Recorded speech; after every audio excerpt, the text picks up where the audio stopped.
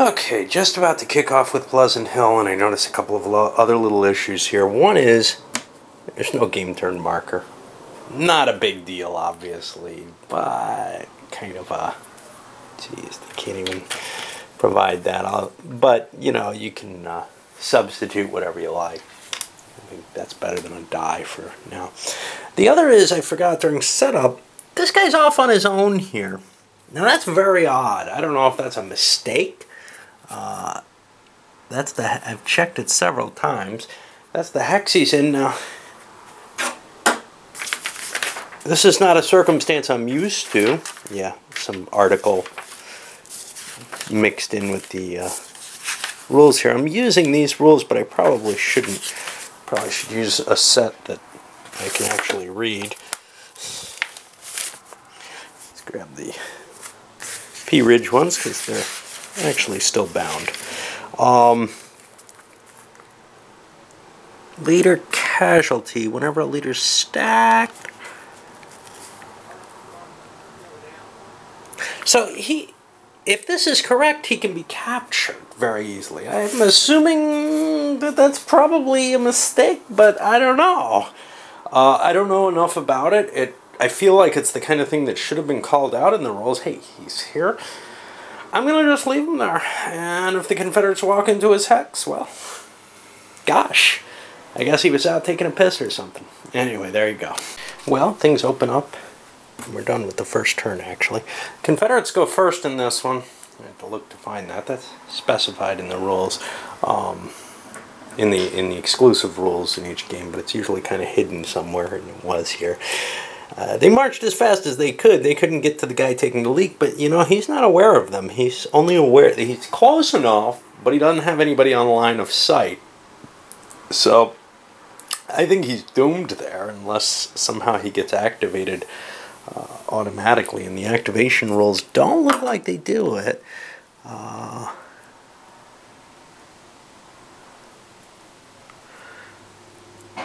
maybe brigade release table will. That's 30.5. Uh, that's the activation table. If the brigade commander has an activation, we change lower. Confederate activation. Slow to react. The following brigades are treated as if they're in reserve. See one of them? That's Benedict. These are required for full brigade release or something starting in turns 3, 4, and 5. That's not going to be right now.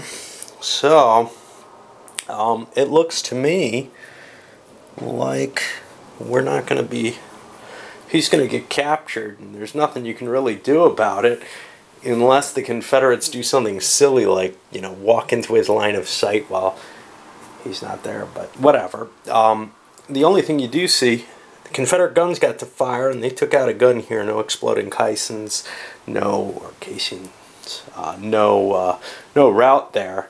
The Union couldn't fire back. In fact, defensive fire would have happened first. They're surprised. These guns came out of the woods and fired on them without them paying any attention. From now on, they can, I think, react. The restrictions to reserve are what?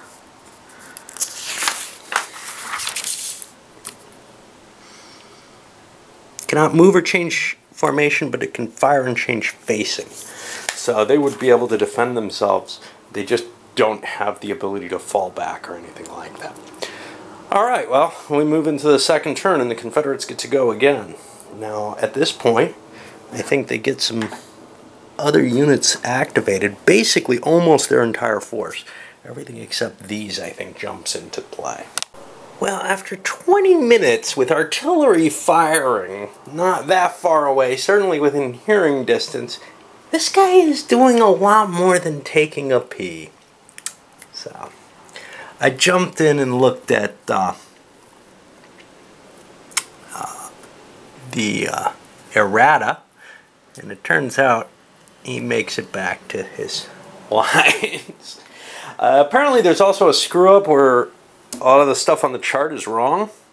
Uh, the OB rosters, basically, if something's somehow correct on the counters it might be mistaken on the order of battle. Oh shit! Yeah. uh, not much I can do about that. I'm not sure how much effect there is. There could be an effect to the amount of boxes marked here. I'm not going to worry about brigade effectiveness and trying to fix that. That's one of the issues there. Uh, artillery, if the artillery is wrong, I can see that. But, you know, I, I don't want to go through and, and try to make corrections to this. But there's definitely a set of errata you got to find. It was kind of cool for me because uh, I went and looked on board. I did a Google search and Board Game Geek threw me on the general errata for Great Battles of American Civil War, which showed some interesting things, which is like this is a different edition than that was, and there's errata for Wilson's Creek I didn't know about, none of which mattered too much. Actually, I knew some of the errata. I found it somewhere because I penned it in on some of the pieces. Anyway, um, I'm not too worried about it. But what was funny is I, I, didn't see a Pleasant Hill errata. When I went to Pleasant Hill, actually under Pleasant Hill was the errata for the Great Battles of American Civil War. Uh, general rules, but the next link down outside of some city planning errata for Pleasant Hill was uh, over on Web Grognards, and that kind of made me happy to just open up a regular little text file instead of these stupid PDFs and stuff that have been loaded up. Anyway, uh, onward with the Confederates' second turn then. Okay, Confederate half of the turn, and kind of shifting further to the right here. Uh, the reason this defensive position of the gully or gulch or whatever is unpleasant and there's no victory point spot behind it. So what I want to do is avoid a head-on attack there and try to drive into Pleasant Hill itself where there are victory points back here and I think here and maybe under these, I don't know. Looks like richer terrain. And if I can hit the very edge of the gully, well, that's okay because it's not actually protected there, kind of like the sunken roads or whatever. It is actually cut through there. So you can kind of attack it safely from certain directions. Over here, moving around to get a flank attack on this. Uh, command over here. This is an independent, or a pair of independent units. I sent Bee's independent cavalry down this way too. With the rest of the uh, Confederate activated forces, trying to slice down and catch from this side. We'll start a frontal battle over here and maybe put some pressure again on the gully on that side. Uh, but I would rather get as many outflanking type positions, try to cut the Union Army apart as much as I can uh, for this situation. There was some battery, some counter battery fire going uh, this way. The uh, Union artillery and Union rifles were allowed to fire back uh, into this direction. Actually, they fire first. Uh, we had some firing coming uh, as as the Confederates advanced, not to a lot of effect. Although one unit was took a loss and a rout, that's rallied. We had these guys get pinned, which meant a devastating shot was avoided, and also a melee uh, opportunity was avoided. Now I got to try to figure out which Union units can actually move because, you know, obviously this guy and this guy have received small arms fire, la la la. Uh, I don't know how you can receive small arms fire and not have a line of sight within, oh, three hexes. He could be taking rifle fire, yeah. Okay, so um, a lot of the Union units are active, but it's not absolutely, you know, obvious which one. Like, if I had shot at one of these, which I think I did, only that one's definitely active and the other ones are only sort of kind of active and it's just kind of a headache there. Belay all of that. Uh, it's by brigade, which makes things much, much easier. So, you know, any brigade that's being under attack, for example, these guys, is now activated. Okay, that sounds simple, but I'm not quite sure what's up with these other units being out. Maybe this will all make sense to me. But maybe there are things that aren't accounted for that are active. I don't know. Well, we'll see. Okay, so let me go into what I think is confusing here. The Union Army was very slow to react to the Confederate, allowing several brigades to be outflanked. Great. The following brigades are treated for all purposes as if they are in reserve. Well, they are already. Wait a minute. Uh, Shaw, Benedict, Dwight, and McMillan. Dwight, Shaw, Benedict, and McMillan. Okay, no problem, they are. I've shot at some of them which should activate them, right? The brigade in reserve can activate under these conditions. Now, special die roll release union during initial command phase for game turns 3, 4, and 5. They can be activated as per number 33, numbers 2, 3, and 4. Oh, okay, 2, yeah, 3, yeah, 4.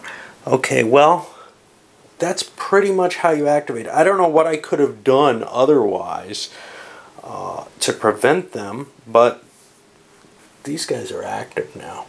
And I'm not sure, you know, I guess you could scout around and, and slip around them completely. Unfortunately, by firing back at them, I've activated them. Oops, I'm not a very good Confederate player. Uh, somebody's shooting at me, I shoot back, right? I'm not sure. Uh, wait a minute. Enemy unit. Hold on.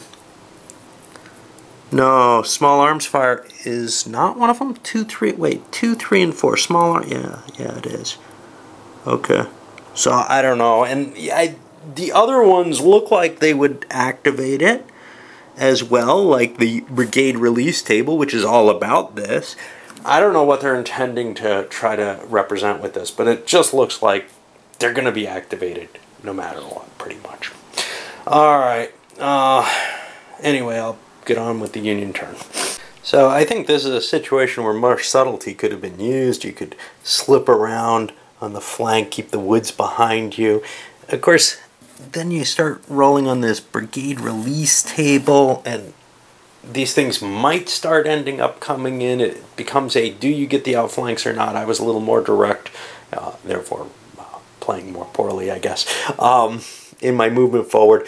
That's allowed the Union, well, the attack over here on the picket that was stationed out here has allowed Lynch's brigade to pull up and help cover uh, Benedict here. And then Shaw's activation by coming too close to them and firing has allowed them to fall back to the woods and link up with Dwight.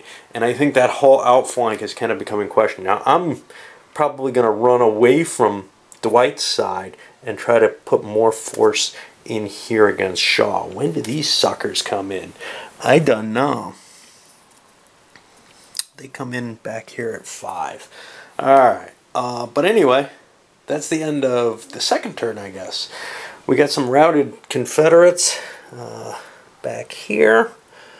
And that's about it. Not a lot of bloodletting going on yet. We'll move forward.